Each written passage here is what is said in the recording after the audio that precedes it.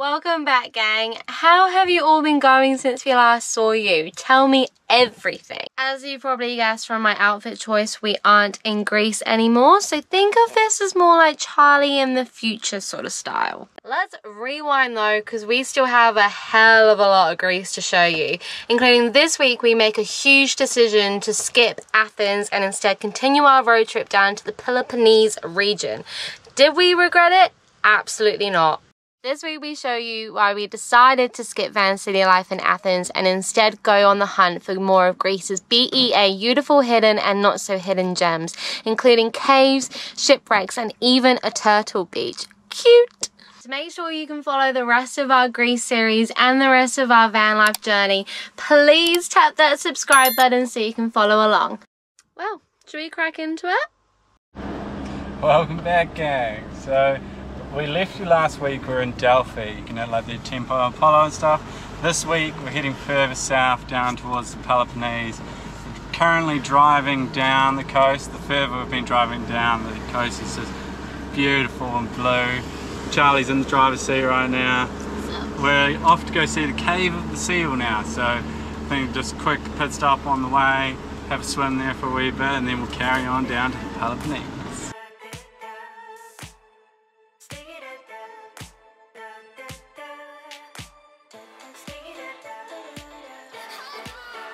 We're going to climb down this path. There's a rope, so Charlie has gone full hobbit mode.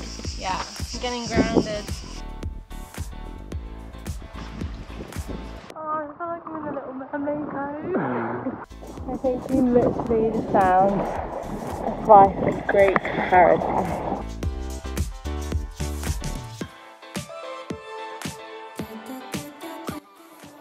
Just saying, like, people would pay to go on a boat trip to places like this. And we have found it on Google. Yeah, it's a bit of an interesting sea climb, but it's free. It's free. Ah. And now we start the climb back up. The mountain goat is out in full force. Not a good sign when there's a rope, is it? Woo! Yeah! Cave of Seal. Get to it. Free, on the way to the Peloponnese, however you say it. And it is just, look at that. Get there. It's gorgeous. See ya. Good morning from Greece. So today we are going over there. What is it called? Mena Monemvasia. Monemvasia, so that means one way. And it's one of the most important medieval fortress cities in Greece. So they built it over there to be hidden from all the attacks, which is very smart. So we're gonna go wander over there. I've had a very strong Freddo espresso coffee. Freddo means cold. So I'm ready to go. Are you ready to go? Let's go. Yeah. And also side note, decided to skip Athens. We we came to the conclusion that we've been told so much nice stuff about the Peloponnese that we've skipped Athens, we did Delphi, and plus I've already said to Morgs if we come back well when we come back to Greece I want to do an island boat trip so we'll have to go to Athens anyway. So now we've got more time on the Peloponnese and then we're gonna go do some islands further on. But for today we're gonna show you this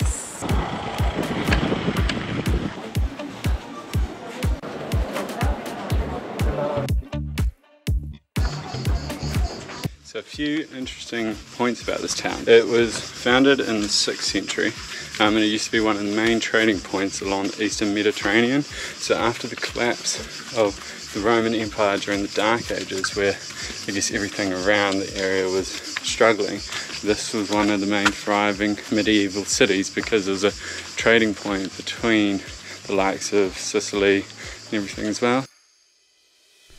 After exploring the town, we found a nice little swim spot on the side of the island just to chill out for the rest of the day.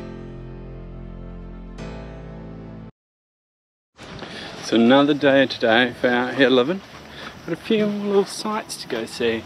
We're heading west along the Peloponnese and there is a shipwreck called the Dimitrios. Dimitrios shipwreck, which is just like a quick stop along the way, but a lot different to the sunken one we saw the other day because this one's above ground. It's like a Greece's version of Pirates of the Caribbean. What are all these silly pilots doing over here? They're just ships sunk everywhere. You can't park your boat there.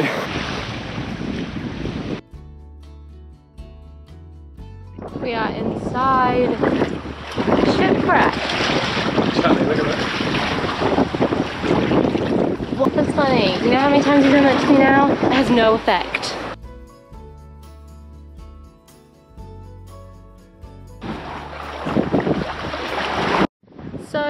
Fact about this shipwreck is it was actually abandoned and burned because it was evidence of them trying to smuggle cigarettes all the way from Turkey to Italy.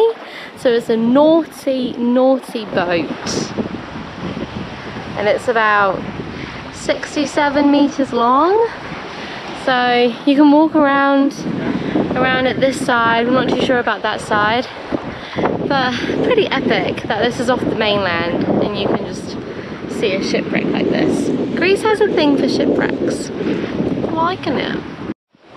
Now for that, we'd probably just recommend like a quick stopover. Like obviously awesome to see the, the shipwreck, but I feel like there's better beaches along the coast, so we're about to head down a little bit further, try and find this little beach town. Yeah, Abila. Abila? Abila, Yeah, Abila. So we're gonna pop on over there now. We're moving a little bit like quicker around this area because we do have those restricted amount of days in Greece because of our Schengen visas. So we just want to make sure we'll get into the main places we want to see. So so this place isn't called Abila, it's called Alipa. And look at it. Who needs a Greek island, eh?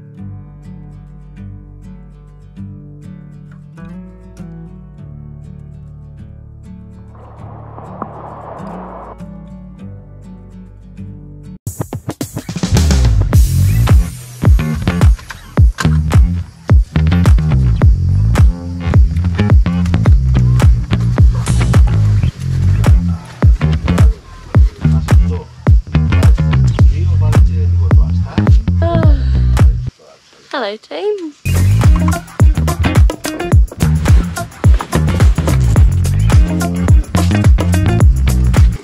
now we won't show you too much of that. It's a bit messy. A bit messy.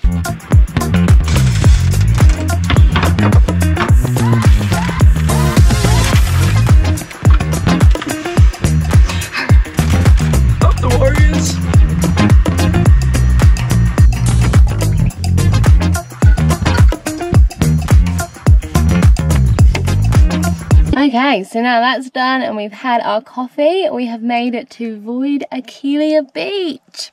Hope I'm saying that right. It looks amazing. So we can't wait to see it and show you guys as well. Like I actually don't understand how it can be hot this quick. Like it's 10.30 and it feels like it's like 40 degrees or something. Summer, eh? Didn't know I'm taking Samurai Sam to the beach.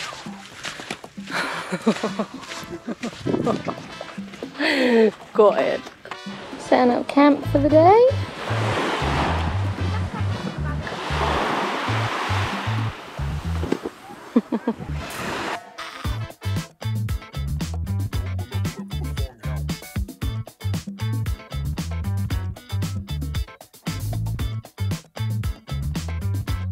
After our day of being absolute beach babes and Morg's getting very burnt. Very bad. We are on our way to the next beach, which is a large nesting ground for Caretta turtles. The beach that we were at today was also another nesting ground. And fun turtle fact for fellow turtle lovers is that turtles nest on the same beach that they were born on. So that's why it's really important that all these beaches are being looked after so they don't, you know, don't go extinct. Please tell me someone that your front compartment of the van looks like this as well. And it's not just us, the main culprit.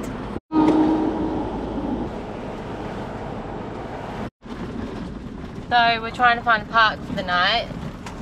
And this is similar to our Go Back to Tepe adventure. We're just going through all these olive trees.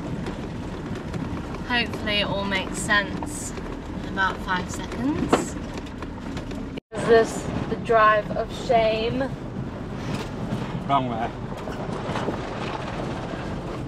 it's funny I don't know whether any of you have been to Aussie but in Aussie they have a sign that says wrong way go back favorite sign like, what do you mean? Like, there's like one way. You can't go back. Like, you screwed it. Like, it's over.